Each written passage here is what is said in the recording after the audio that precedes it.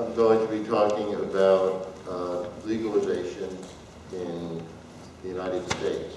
And you know, the United States, uh, like, very much like Germany, has a a federal system where the states have a certain amount of autonomy. But in the United States, um, uh, they're, they're considered two sovereigns. One is federal and the other is a state. So something can be perfectly okay as far as state authorities are concerned, and then on the other hand, the federal government can uh, quash that. And in the past, it has, and we're going to get into what's going on now. So, let's see.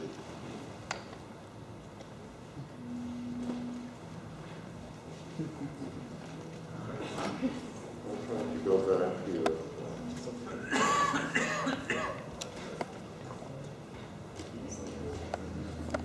Okay, well, looks like I can't go back. Um, Okay, so what?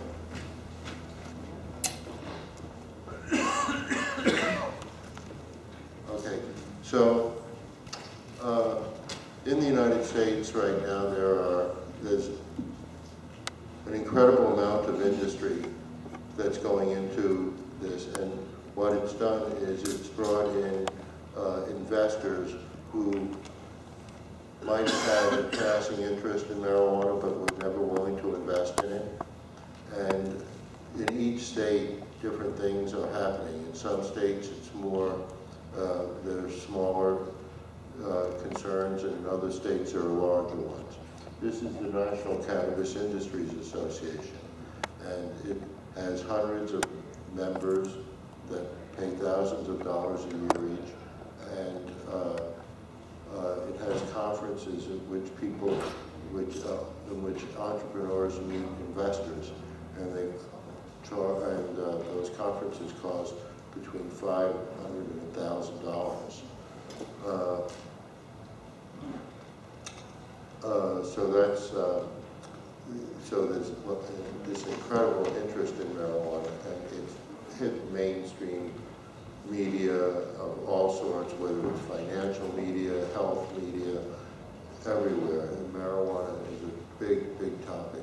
And the New York Times, for instance, which is considered the premier paper in the United States, has been covering it all the time now. Uh, several times a week, they'll have a, they'll have a, some sort of a, uh, article on marijuana, either between a state federal issue or a state issue, local, but, but something about it because they know that their readers are interested and they get a tremendous boost when they cover.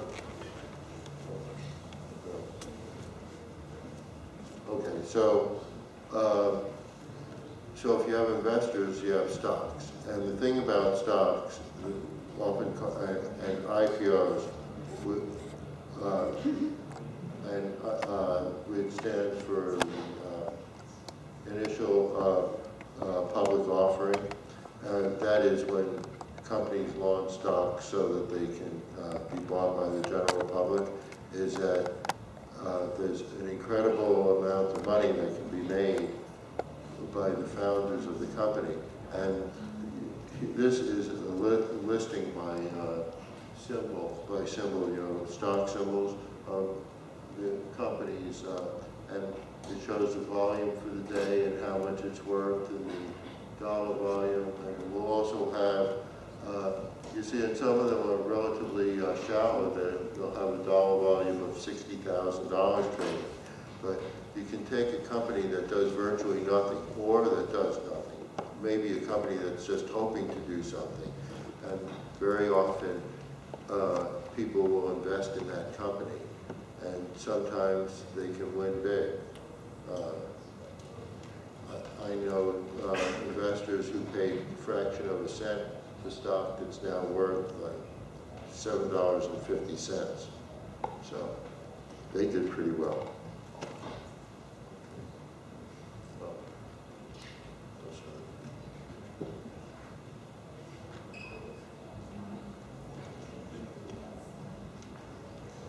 What's, what's, Why can't I move this? What, am I doing wrong?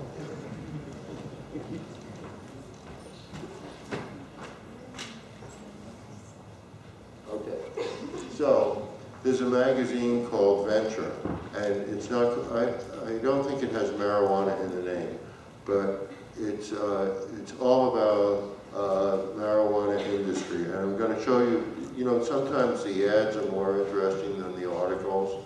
Uh, so here, are- here are a few of them. Let's see. Oh, oh, I It. This is another one. This is for, for soils. So, you know, in a lot of, I'll get into the different state laws, but in a lot of states, they have a plant count. And you know, a plant count is really, has no science in it because a plant could be any size when it's flowered out.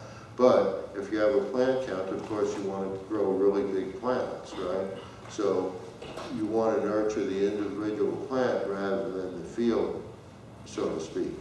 So, uh, so in this case, they're offering these premium soils now. It might cost two hundred dollars or three, let's say two hundred or three hundred uh, euros to, to fill, uh, uh, to fill one of these uh, large containers that they use for these giant plants that will yield five kilos or more. But when you think of it on a uh, per gram basis, it's really not, not very expensive. So, so soil companies are in keen competition, and they sell the soil not in bags, but in bulk, which is about uh, uh, one to one and a half uh, cubic meters. And uh, here they're advertising, you know, free delivery. Okay, this is, uh, um, these are different uh, displays that you would have at a bud bar. You know, if you're going to have a medical dispensary or any kind of store, you want to have something so that people can look at it. So these are, are dispensaries, uh, uh, products for dispensaries that meet the code. You know, that like, they might look a lot like a, a salt or uh, maybe a, a salt shaker so that you can smell it. And on the other side, it might have a magnifying glass so you can at it up close, but you can't touch it. Smell, don't touch. So, uh, and uh, so that you can have samples on the counter like that. So it can't be pilfered, you know, the, uh, the sample itself isn't being contaminated. Here, uh, insurance. Well, if you go have a business, you need business insurance, right? I mean, isn't this a dream? I mean, the thing is, it's a pinch me dream. I've been waiting for this for a long time. Okay, now, the dream happened before for me because I was in Switzerland uh, in 1999 and 2000, and I was employed in a 30, in a, uh, like a 15 hectare farm. And uh, it, it had a number of different fields. It, it wasn't one contiguous piece of land, so the, there were different fields. But this is one field, and the reason why I bring this up is this is how I think that marijuana is going to be grown in part. So, on this farm, there were a number of greenhouses. There were both these uh, hoop, hoop type greenhouses and uh, uh, uh, standard glass greenhouses. And uh, and they those greenhouses produced a steady flow of small plants that were ready to go and be planted outside. So there were three crops a year. And the way there were three crops a year is that the first crop went out in, in April, in, in uh, late April. And those were plants that were large enough to immediately go into flower. And you know that some varieties, when they go into flower, they stop growing. And other varieties continue to grow. So they took varieties that would continue to grow a little. And then uh, they started shading them with, and if you notice, uh, you can't really see it, but there are, there are two kinds of covers there. There's a clear plastic cover and a black plastic cover. And the clear plastic cover was put over when there was a rain or inclement weather, and the, the uh, black plastic cover was put over daily to flower the plants. And then those plants would be ready in June, next crop would go. So I want you to notice how, uh, how uh, close together the plants are and how small they are. And then I want you to think about light. So, you know, once light hits something opaque, like for instance, a leaf, uh, that light no longer exists. The leaf underneath it, that it's in it, it's in its shadow, is getting virtually no usable light except for maybe some ambient light.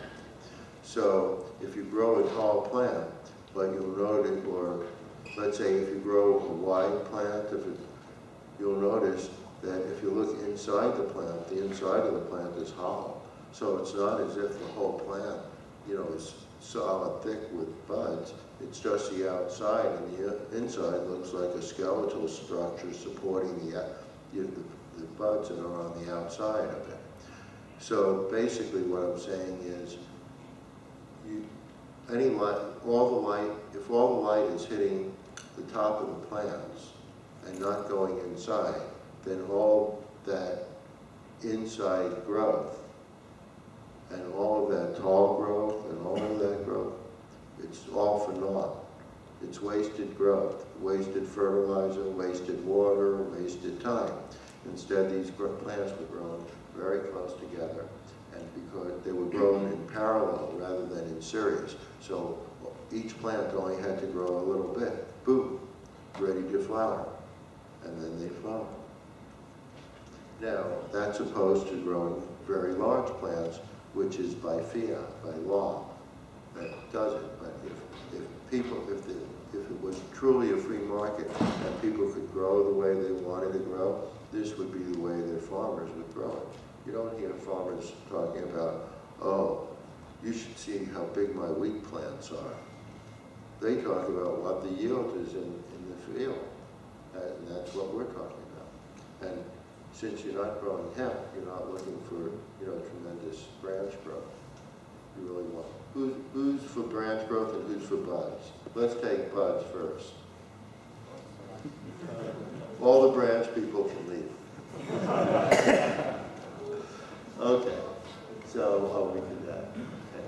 So, you know, Switzerland, it was really amazing. They, when I was there, I was there for two summers, and they said, somebody said to me, you know, you know how many police we have in uh, Switzerland? They said, uh, three, and I don't know, he said three million. One half watches the other half. And you see this field, and it's right by that housing there, and nobody would think of going into the field. Right? That's pretty cool, right? I mean, I mean, people could just walk into that field there. There's, there, you see all the guards in there, guard towers. Oh, you don't see them? You don't see them? No? So, I mean, people could just walk into that field, but uh, they were very, very honest. Uh, so this is another picture of it. Uh, here you see the clear plastic as well as the black plastic, that clear plastic I was talking about. This is uh, breeder Steve. He dropped out of, he couldn't take the rough and tough of marijuana breeding, so he's breeding grapes instead. And uh, so, uh, but this was in the greenhouse where we cut clones from. Now, this is an interesting story, you know, with Switzerland and the war was going on in the former Yugoslavia. So all these refugees were uh, moving into, into uh, Switzerland. And Switzerland had a very tolerant policy that they could all move in and everything, but they couldn't work. So you're a refugee, you just left everything, and you can't work. Thanks a lot for letting us live here. We'll just starve to death. right? So he hired all these people, and in the US, we would say without a green card, you know, they're not, they're- but in this case, they were legally there, but they weren't legally allowed to work. They could just beg for food or something, for food and shelter. And you know that Switzerland, you know, it, it's an expensive country to live in. Everybody knows that, right? Yeah. So, anyway, so you couldn't get Swiss people to work in the fields. And this was field work and hand work.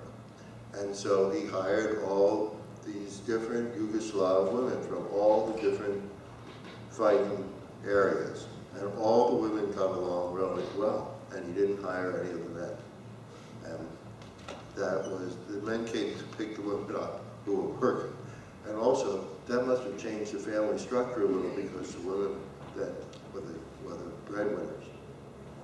So this is a picture, I gathered the prettiest women in the air, in the thing to get in this picture. This is it.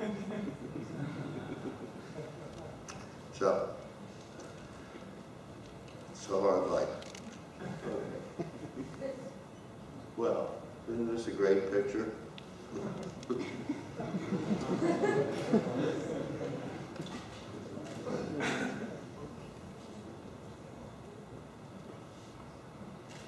Um, So, I want to go on, uh, I want to talk a little bit more about um, uh, legalization U.S. And can we go on to the next one? Could you move it over?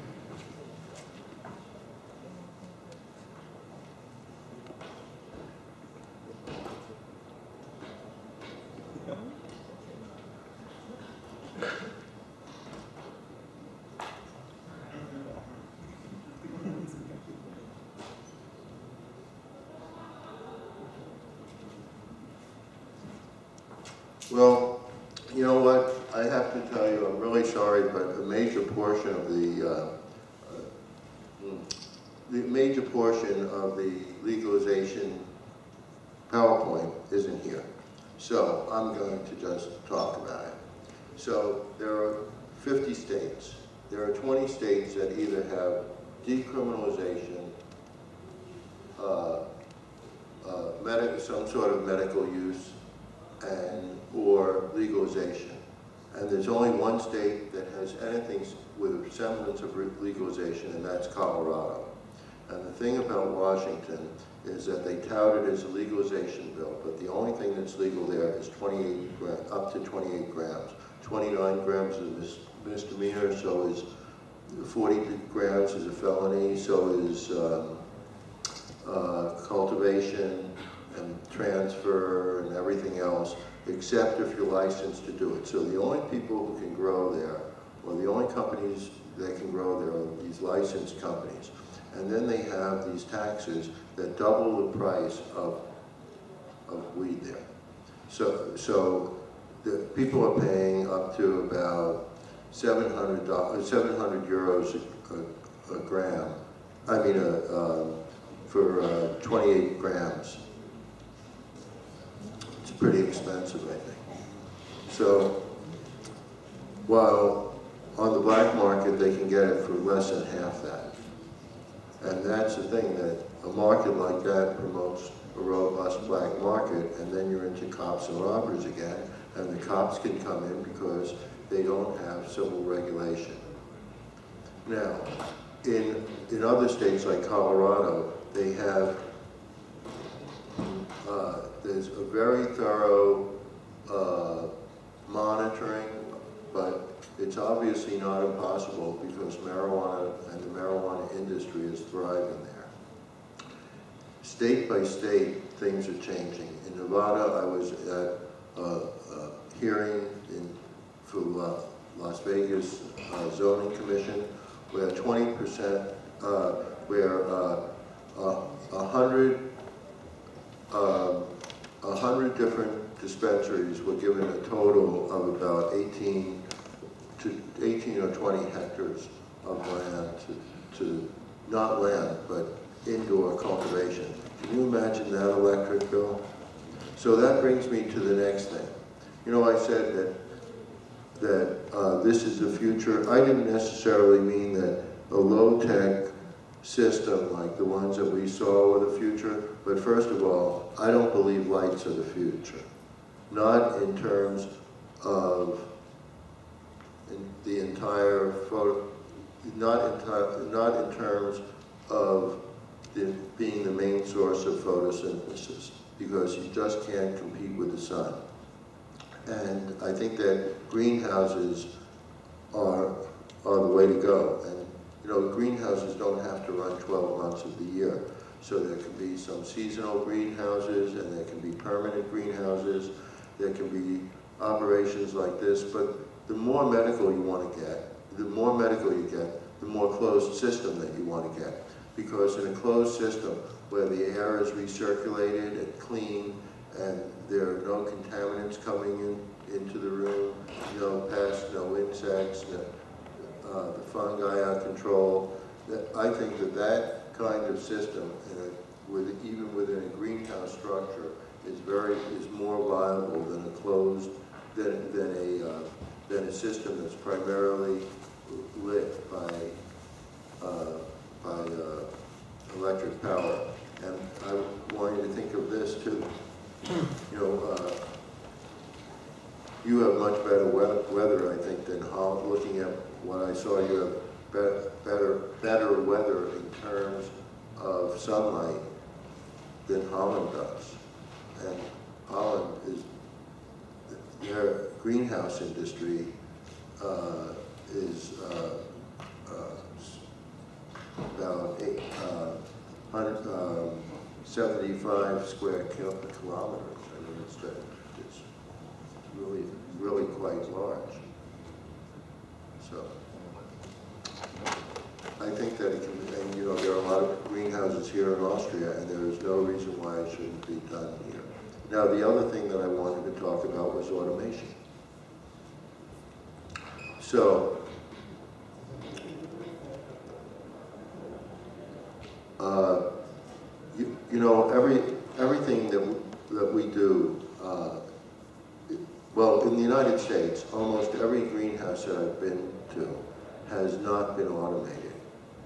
And um, very often what a grower will do when they're asked to, to go into a greenhouse situation is they'll go with what they know and they'll make the green, partition the greenhouse, which functions on an economy of scale. They'll move it over into uh, they'll take that greenhouse and they'll uh, break it up so that they have these different environments and so on. And uh, uh, they, so that they can't get the automation. So the reason why I bring this up is all of the, but they're beginning to bring that in. And with that automation, there has to be a tremendous investment. So that now we go back to legalization and what that means to legalization. So as long as there were only hippies to bust, it was one thing. You know, okay, so more traffic for the police. But now people are putting in investments and states are, are seeing how much money there is in this and there's a lot of pressure on the federal government. And that pressure is, well, it resulted in the federal government saying it would lay off Colorado and uh, and, and the state of Washington. But it's happening all over. The state of Nevada, as I said, is giving out permits. And to apply for the permit costs hundreds of thousands of euros. And then if, if they're putting together, right now they're putting together clothes, well, uh, uh, electrically lit uh, grow rooms. So if you're putting together a, a, uh, grow room several hectares, you can imagine how much that costs. It, it costs more than a million dollars. Well, about seven, 700,000, 700 to 800,000 euros per acre, per, well, okay, so it costs about $2 million, uh, 2 million euros per hectare.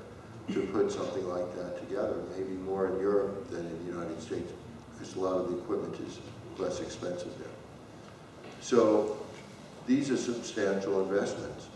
And so the states are looking for some sort of security. And that, that's put the federal government in quite a bind because they can no, they no longer have the cooperation of the state governments in the war, in that sector of the war on drugs. It's, it's out of their hands. But then there's the other part of the problem, which is that some of the state, this is on a state-by-state -state basis, so a person can be perfectly legal in one state and have a major felony in another state. That isn't going to be solved right away. But I think what is going to happen is that with the next elections, or very soon, the state governments are going to be putting more pressure on the federal government because they want the tax revenues. And it's not just the, you know, that it's not just the direct tax revenues, but all the indirect, the, all the industry it creates. You know, it's, you know, I, I showed some of, some of that advertising, but the, you know, it's everything from you know, anything that you might use in either farming or in, nursery management. And so it's been a boon to, to all kinds of industries. And uh, look at look at marijuana on the internet. Look how many people are just employed in the internet, in uh, uh, uh different sites and different uh, uh, different sites and different programs on the internet, and it runs in the hundreds of thousands of people that are just involved in that. So there are so many uh, ancillary industries, plastic, the plastic container industry. I, I saw this ad for a, for a fast food company, and it was like this guy jumping up and down, and he was jumping up and down because he had just gotten the fork contract for the salads that the company was now going to be producing. And, you know, it's, it's like that. There are all these ancillary things, and this is putting a lot of pressure on. So now I want to get to a few, few states that are, so Oregon, the state of Washington, I, I mean the city of Washington, D.C., uh, uh, the Virgin Islands, and several other, uh, two other states are uh, uh, going to have either uh, decriminalization, legalization, or medical use laws passed by initiative this November. And then in 2016, there'll be quite a number of states that have, that have the initiative process that are going to have initiatives. And I can talk a little bit about the California initiative. Well, you know that when you put 10, um, 10 potheads in a room, you, you can have a discussion and come out with a uni unified consensus on something, right? Uh, you, don't, you, don't, you haven't had that experience? Well, I would not say that the, mar that the uh, marijuana, uh, the, the run for the marijuana initiative is uh, that, that it's beyond egos and that there are a lot, lot of egos involved that might uh, actually hold fairly uh, similar positions, but you know, it's people who want to be the kingpin of it. And my analysis of it is that it's going to be, go to the people or the group that has been able to raise a large sum of money, large sums of money by, contributed by major donors. Because you're just not going to do, you know, the, the idea in the United States, well, if every, if every stoner just gave $10, you know, we'd have such a big fund. We'd be able to take over the Congress. And you know, that's probably true, but, or maybe $100. But but that's probably true, but, but they're not going to do it. So instead, the hope is, and, and what's happened in the last initiatives, and I, I'll talk a little bit about the first one, which was in California. What, what, what happens is that you go to large donors. Well, there's a, there, there's this hippie that was very successful in business in 19, and, well, let me start that, uh, there was this activist, Dennis Peron, and in 1994, he uh, put an, an initiative through for the city of San Francisco that said that the police should give marijuana lowest priority. And then he said, you know, all my friends are dying of AIDS. So I'm going to do an initiative. So he opened up a dispensary illegally. And with the money from that dispensary, he thought that he would be able to run this initiative in California. But he, his dispensary was busted, and he was sort of out of the picture, but his initiative had already gathered a certain amount of signatures, and there was a question of whether it should be go, continue going. And I, um, I was chairman in Alameda County, and I continued to have people collect signatures, and they were paid for by various collections that I had, had made. But so what happened was, as soon as we made the, as soon as we, uh, uh, there were, but there were, so there was this uh, business person who had been very, who was a hippie who had been very successful beyond his dreams and had hundreds of millions of dollars. And he contributed $250,000.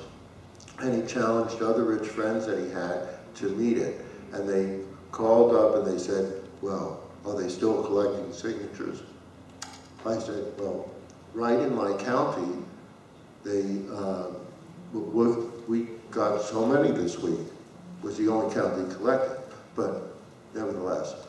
Uh, and then he called me up and he said, you know, why should they contribute this time rather than next time when we'll have a much better initiative?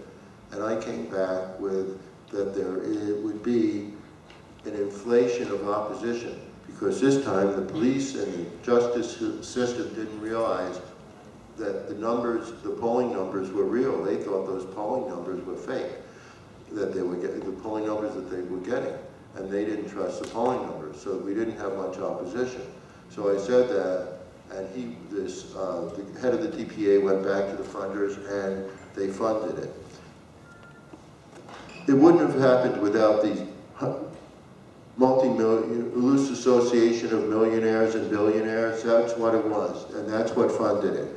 So, so that's what I was getting to. And then we had to go back again, and the, the answer, when they said, well, we need more money, well, you say, well, you're a business person, so what, if you, um, would you, let's say you're, you're starting a new operation and it's doing well, it's just that it needs more money than you thought. Would you close it down? Would you lose all the money? No, you'd put a little more money in. So the faucet opened up again. So, what that taught me here, and the relevance to today, is in all these initiatives, it's who puts up the money as to which initiative gets on the ballot. And uh, uh, so there's a big scramble now. There's a big scramble now as to who's going to connect, you know, who's going to collect the money. And uh, there's there are all kinds of rumors about who, who's got money from whom, who will work with whom. Then the new part of the equation is, you know, I showed you those stocks. And in every one of those stocks, people became millionaires or multimillionaires often for hopes. You know, what can I tell you? But anyway, so these million, these, uh, this is new part of the equation because there was never any money from growers for legalization. No, never any money from the head shop industry for it, or from the par or from uh, or from the uh, the, the uh, grow store industry or any of those. All those people, oh no, we're not associated with marijuana. But these people are associated with marijuana and they have millions of dollars. So for some of them, it's a dream to be the, the king of marijuana, you know, to, to get it past the finish line. So it's going to be a terrible scramble as to what's going to be the initiative. But I want to give you a few things that I think should be in a template of an- any initiative. And I, I'm, excuse me, I'm not only talking about the United States, but I'm talking all over the world. Well, the first thing is that all people should have the right to use marijuana. I mean, these are very basic things. I know the, the, the, the devil is in the details, but all people should be allowed to use marijuana. It's very simple. Then everybody should be allowed to grow their own and share it with their friends and their families. Simple. Okay. There should be a medical track for marijuana, and that's separate from the adult use track. And the reason why I say that is, you know, as these dispensaries have had competition and matured over the years, there are no regulations on them, but they all do testing for infections like E. coli, salmonella. They all do THC, CBD, CBN, and now most of them are doing terpene testing. So, uh, so there should, but and the the products that are coming out, many of the products, you know, everybody says, okay, so everybody, so like, what the first prescription I got for medical was uh, that, um, well, the second one said, the first one said I should never be without it. The second one said mocking and disruptive behavior. And he didn't, the, the uh, uh, doctor didn't say uh, whether it exacerbated it or controlled it exactly. But, um, but on the other hand, the dispensaries have very serious medicines that are geared for specific medical conditions. Oh, I, you know, the reason I originally used it was because I had latent glaucoma, but I stopped using it for that, for my latent glaucoma, which, you know, wasn't detectable because I was using it, but I stopped using it for that, and now I'm using it so that uh, my wife doesn't have to take Prozac.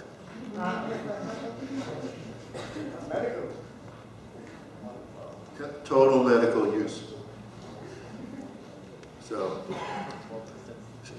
so, we, uh, but, uh, you know, there's a serious side to medical. And, and so many people are getting help from different varieties of marijuana and different concoctions from marijuana, and especially in, in California where, you know, there are very few regulations, so all of these companies can experiment with new medicines and not be violating some sort of code or law. And so it's brought, so I think that that medical track is going to continue and there's going to be overlap between the product that's in the medical dispensaries and in the adult use. So there'll be some products that will be in both, but there'll be some that will be found only in one or the other.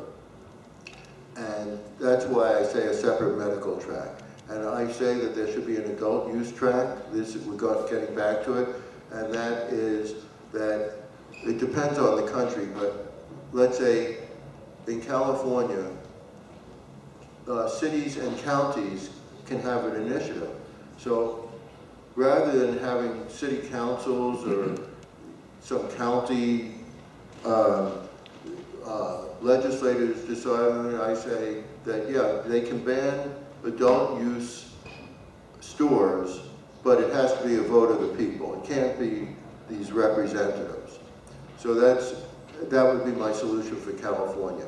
But uh, I think that counties and cities shouldn't be allowed to um, uh, to stop manufacturing or processing.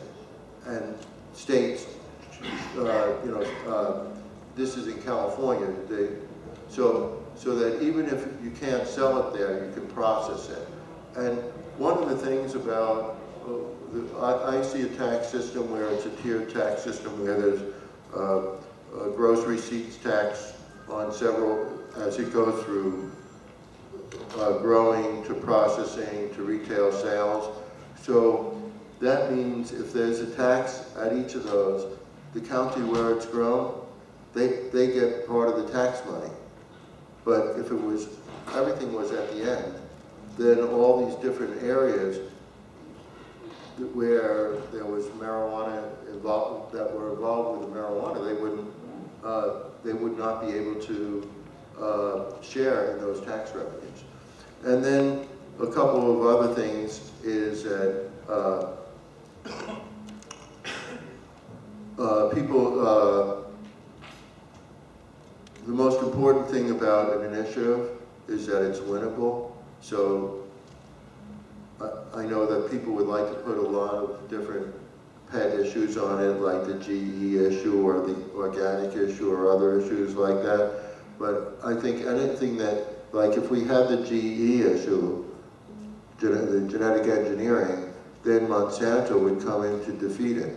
Then they'd spend any amount of money to do it, just for that. So you don't want to, you want to keep it as clear and as clean as possible. And as far as California goes, virtually all of the people who are in prison in California for marijuana are in for, for the United States relatively short terms. Most, the max would be about three, three and a half years. So they'll be termed out. If we put free all the convicts, you know, all the convicted people, it, we'd lose, we'd probably lose, lose the initiative. So it has to be realistic. Now, in other states, the legislatures have grabbed onto the profitability of marijuana and have limited the number of facilities or, or they're selling stuff to the highest bidder. You know, all of these things. The higher they bring the price between the between the black market and the and uh, the, the official market, and the bigger the difference in price, the more of the, more of the chronic lose, users that they will lose. So that means they might be getting these revenues that they never got before, but they'll always be losing revenues. Oh, another thing is, you know, I don't know about in, in Austria, or I do know a little bit about Holland, and but in both Holland and the United States, the police seem to have be so confused about the marijuana laws that they just can't learn what the laws are, and they can't get them right, and it's what can they do when they make a mistake? And I say, you know what, I don't want to challenge them that way. I think that it must be very frustrating that in all these years they haven't been able to learn it. I mean, imagine like if you were trying to, I don't know, grow a plant and all year after year you failed. I mean, it would be really frustrating. So it must be really frustrating to the police and the criminal system that they can't learn exactly what the laws are. And so I thought, well, maybe they shouldn't have to, so we'll just take them out of the laws. And instead of criminal justice, it will be civilly regulated, just like any other business product like you've seen here, right? And if it's civilly regulated, that means if the police say, you say, we don't want any, we gave last year.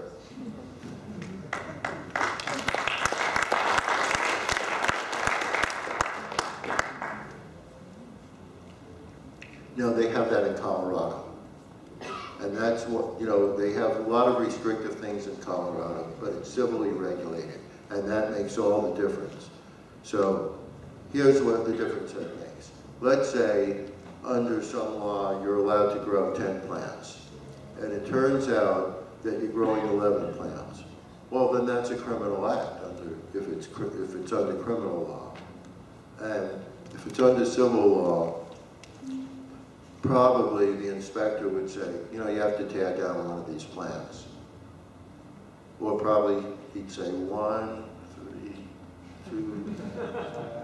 You only have nine here. Or, or maybe the inspector would say, I'm giving you a ticket. You know, which is a fine and which is not criminal. It's like a traffic fine or a parking ticket or something like that.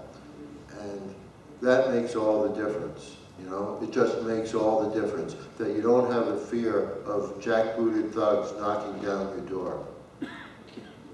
And uh, if you don't believe that that could happen, uh, you could go on to YouTube and, or Google, well, just Google, but you could go onto YouTube and go, Columbia, Missouri SWAT raid.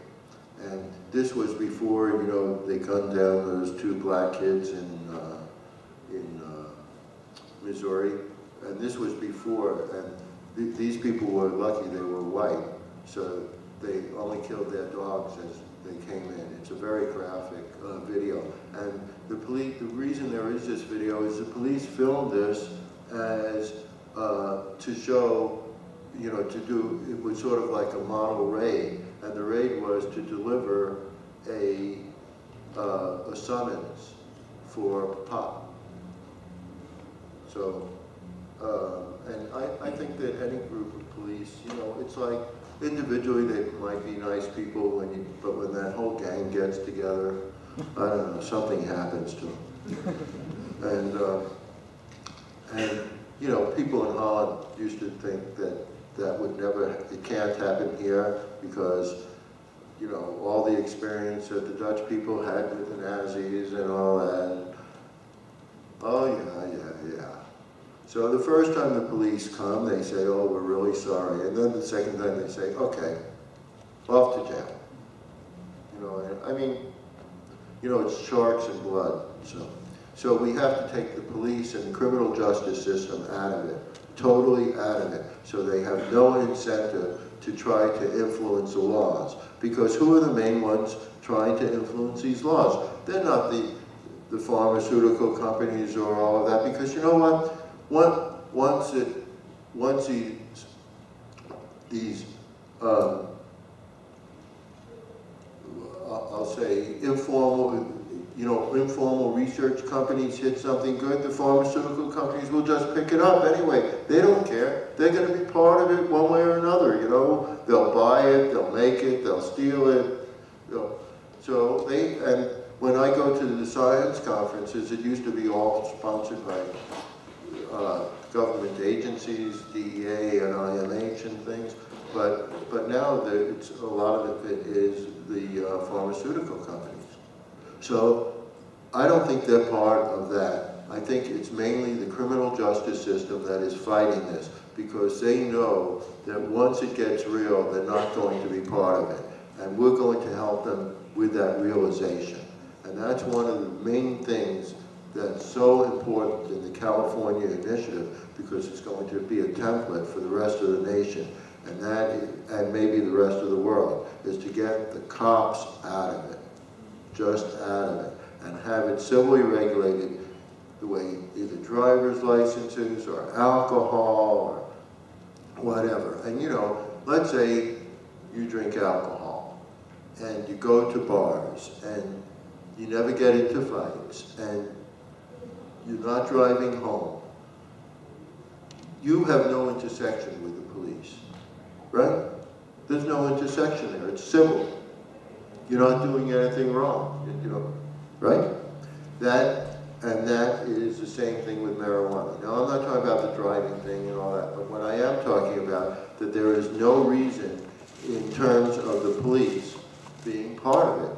And, and civil regulation is the way to go, and it's much, much cheaper. And the other thing about civil regulation is that um, that,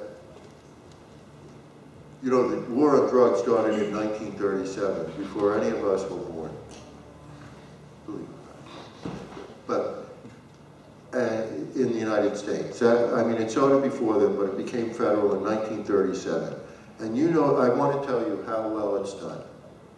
So in 1937, there were estimated to be 50,000 marijuana users in the United States. And now they're estimated to be, I said 50,000, right? And now they're estimated to be about 60 million. which is a 15,000% increase.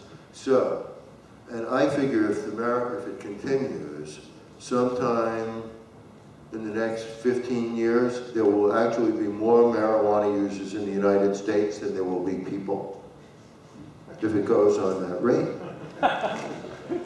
First, I was puzzled by it, but now I know what it is. It's the canaries. They're going to feed it to the, the to the pets. They're going to give all the pets pot.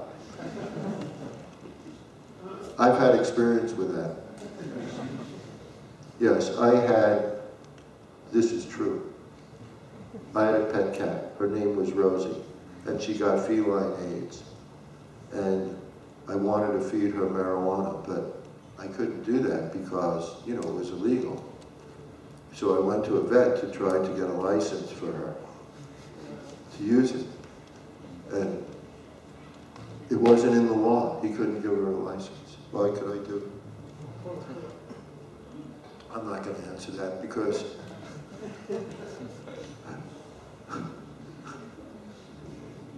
you know, if it was only kids, that would be easy, but it might be Animal Protective Services coming.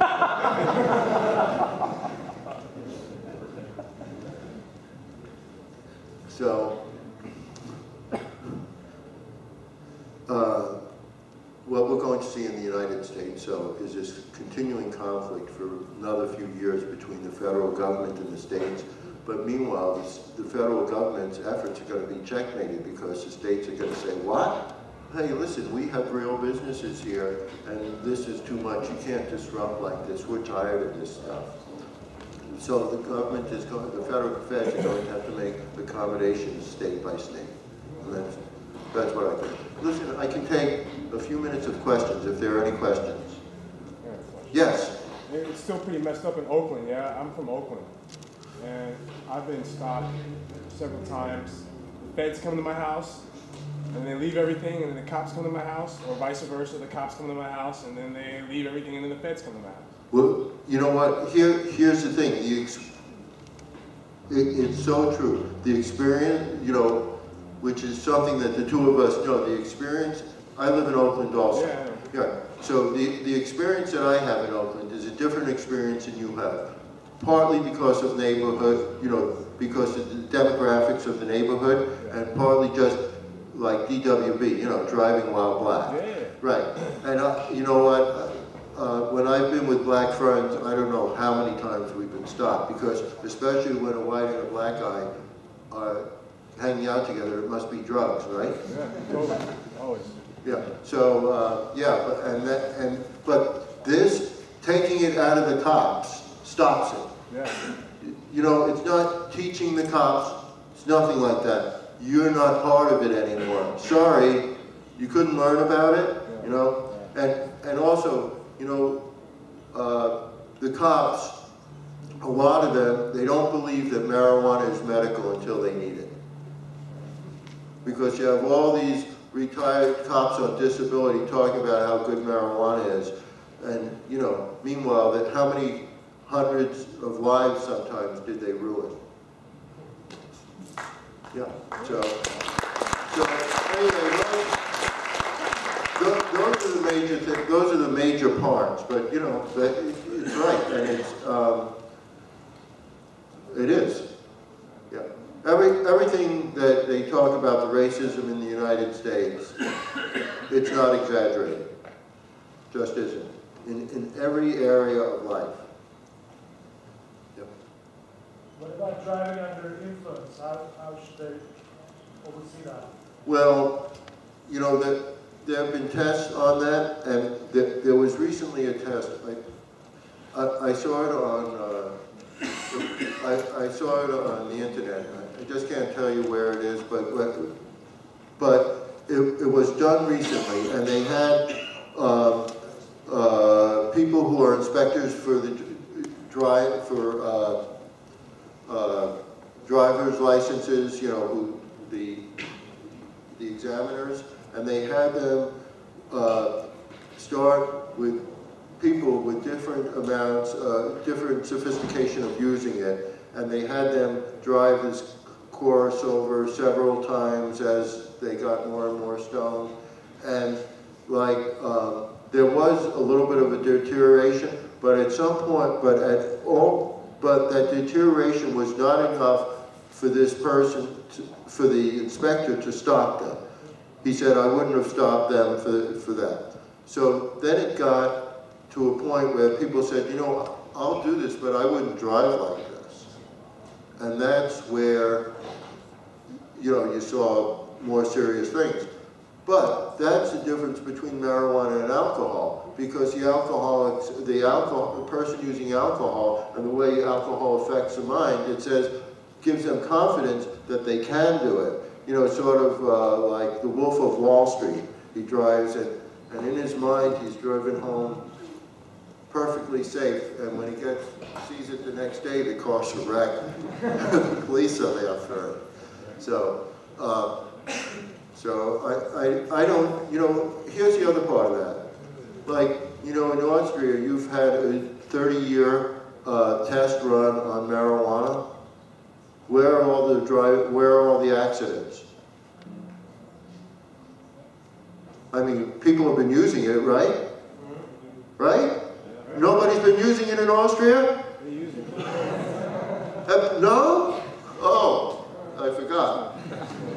But, I mean, where are all the accidents? You know, where are all the cancers? Where are all the heart attacks? Where, you know, all this stuff about how bad marijuana is and it's gonna just ruin us. And I, I do think Simon and I know each other. He will tell you, you know, like my drive has just been totally zapped by it all these years, right, Simon? Yep. Yep. His too. Yeah. So, I mean, the reality hits the fan. Where is it? I mean, and so all this stuff about driving, it just doesn't exist. You don't see, you know, the only time you see mar, or virtually the only time that you see marijuana involved with uh, accidents is when alcohol is also involved in that. And, and that's statistically there. Or other drugs mixed. Yeah, yeah, yeah, W- w- mixed together, yeah. Any other questions? Yeah, my question was, if, you know, the family, uh, Stanley brothers, The what? the family Stanley brothers, Mm, Stanley, that's a Colorado, uh, family, Yeah, and they have their own strain, it called, uh, Ch- Charlotte's Web. yeah, That's a CBD bomb. yeah, yeah, well, it- I- yeah, My question was, uh, you know, about it, is it now under zero point seven percent? Then in Austria, is it, with the THC, is it legal for zero point three? yeah, And the CBD, uh, CBD is not a real big deal. yeah, I, I understand. You know, in order to qualify under the hemp laws, it has to be under 0.3 percent THC. That's what you're referring to. And so, uh, I, I really don't know. I can't speak to Charlotte's Web, but I can speak that there, there are other varieties that are, you know, that are under, 3.3 percent THC. For real? And- For real, yeah. And the name of the different strain? Excuse me? The name of the different strain? Uh, I don't know, but you know, uh, if you, even he- here, there, is the CBD crew here? Nope. no. No, but, but the seed companies here, some of the seed companies offer very high CBD strains. So, and if you don't see that, you can look on the internet. I mean, it- there's ample uh, places where you could buy it. And my next question, my next question was, is it legal to sell some clones in the California state for me as a, as an Austrian people? Well, if you became a resident of California and that would, and, you know, like, let's say you got a driver's license, opened up a bank account, then you would be qualified as a resident and you would be able to get a a recommendation. And if I were a doctor, I would, open up your eyes a little. Yeah, you look very ill. I would give you a recommendation.